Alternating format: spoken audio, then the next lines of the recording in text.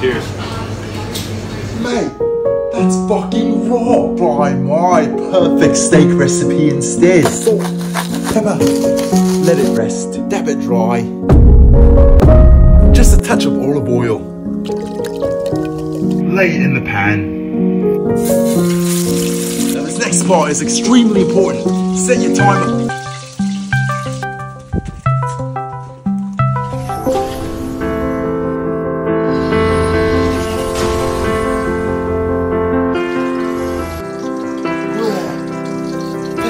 Perfect.